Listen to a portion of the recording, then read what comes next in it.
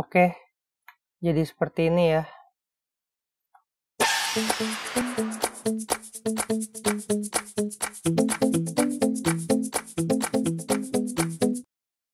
Halo teman-teman, kembali lagi bersama dengan saya Joel Christian.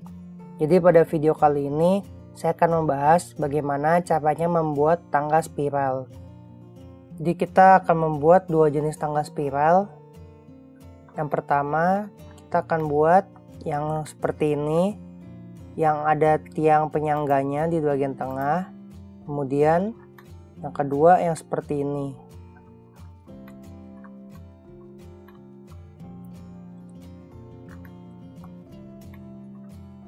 Jadi pertama-tama kita buat lingkaran dengan shortcut C.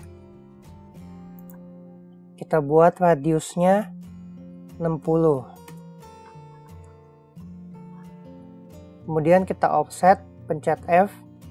Kita offset keluar 700.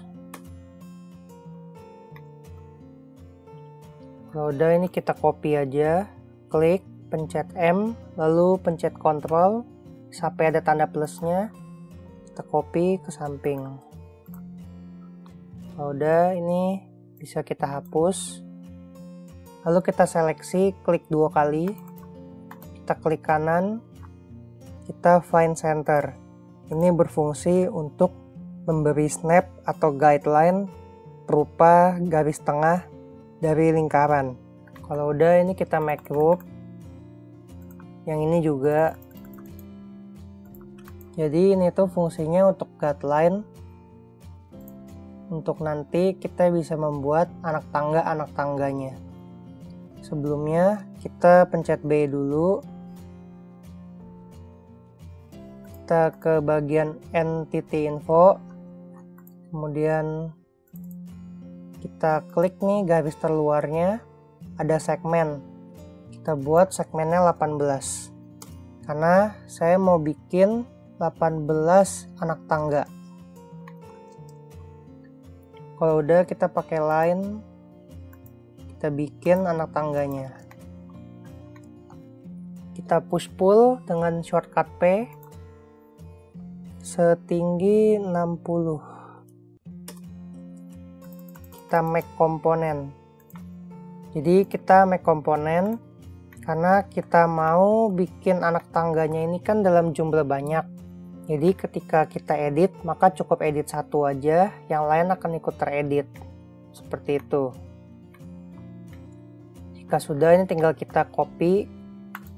Klik bendanya pencet key harus di aksis biru ya. Jadi harus berwarna biru seperti ini nih. Kemudian kita klik. Kita ambil titik di ujung benda ini. Kita klik. Kemudian pencet Ctrl supaya muncul tanda plusnya. Lalu bisa kita rotate. Kita snap ke ujung satunya. Kalau udah kalian lihat di bagian pojok kanan bawah pencet tanda bintang kalian kali 17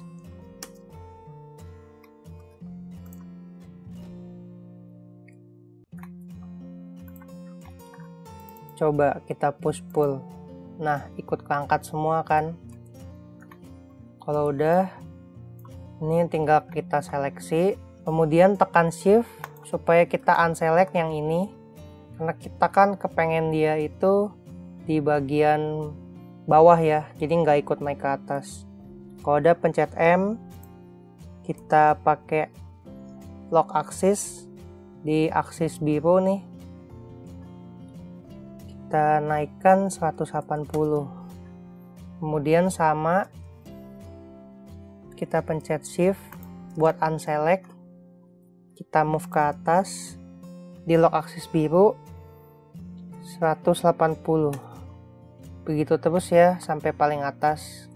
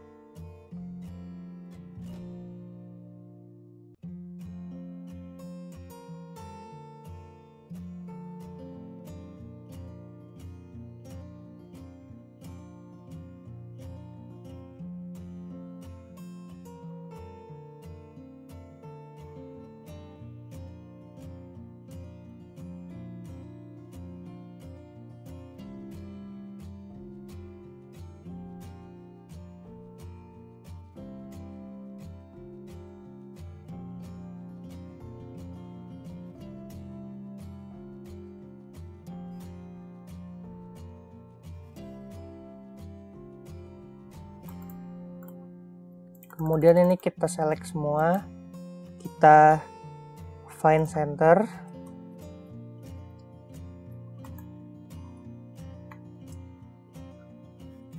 Udah tinggal kita geser. Ini saya geser pakai aksis hijau ya. Kita lock aksisnya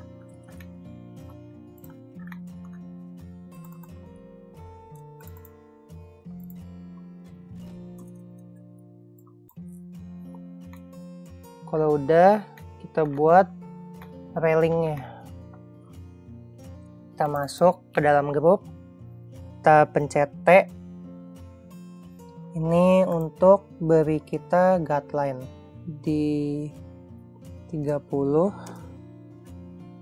lalu ke sini 30 kemudian C radiusnya 15 ke entity info segmennya dibikin 60 biar lebih halus. Kalau udah pakai L. Kita bikin garis ke atas 900 lalu kita hubungkan. Kalau udah kita select. Oh iya ini kita reverse face dulu. Biar pas di follow me dia warnanya face nya nggak kebalik. Udah kita select lagi. Kita pakai follow me. Kita klik. Ini kita edit delete guide kurang lebih seperti ini ya hasilnya. Kalau mau railing dan tangganya lebih halus bisa pakai extension cuma kalau untuk dasar seperti ini udah cukup ya. Kalau udah kita bikin yang seperti ini nih.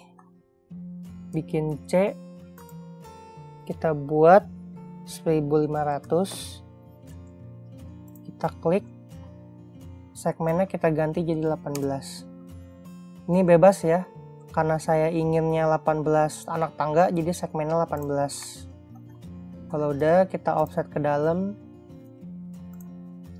1000 ini kita find center make group.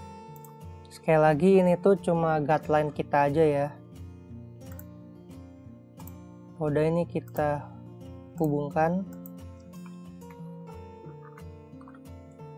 Lalu kita push pull setinggi 180 kita bisa coba kasih plin 20 mili. Kita push pull 10 mili. Kemudian pakai arch shortcut A side-nya kita ganti dulu ada di bagian pojok kanan bawah. Kita ganti coba jadi 30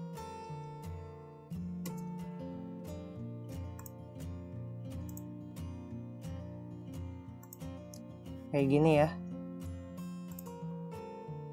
Kita push pull sampai habis. Oke. Kita make komponen. Kalau udah kita copy dengan pencet key ambil titik tengah lalu klik ujungnya pencet kontrol sehingga ada tanda plus kita putar ke ujung satunya. Kalau udah kita kali 17 ini bisa kita hapus. Kalau udah seperti cara yang tadi tinggal kita naikin aja ke atas. Setiap stepnya setinggi 180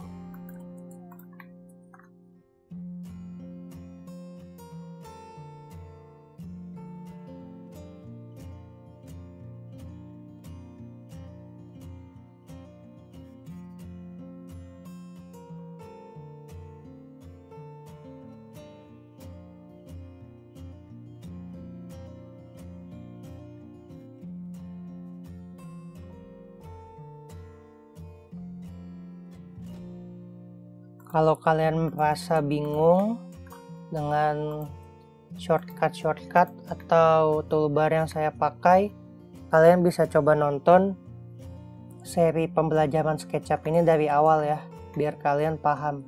Kalau udah, kita bikin railingnya.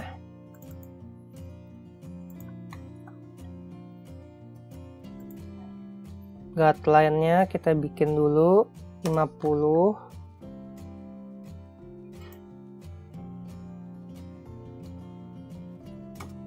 lalu pakai C. Kita buat radiusnya 25 kalau udah kita reverse. Lalu bikin garis. Setinggi 900 kita hubungkan garisnya. Kalau udah kita klik kita follow me. Gitu juga yang bagian dalam bikin dulu garis bantunya. Lalu bikin lingkaran. 25 radiusnya. Kita reverse face bikin garis setinggi 900 kemudian dihubungkan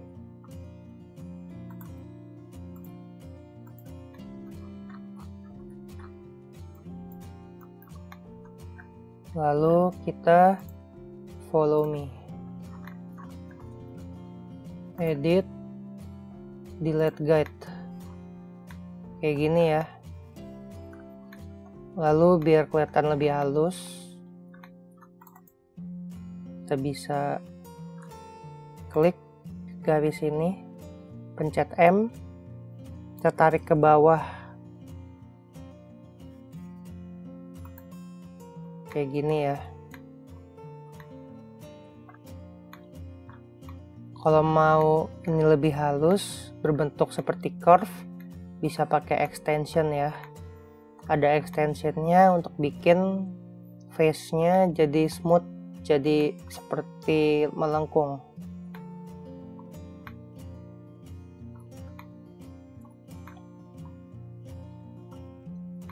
Oke jadi seperti ini ya. Sekali lagi ini hanyalah dasar pembuatan. Jadi kalian ambil konsep-konsep dan pemikirannya. Oke.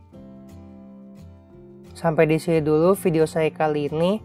Semoga video saya bermanfaat. Dan sampai ketemu lagi di video-video saya berikutnya. Terima kasih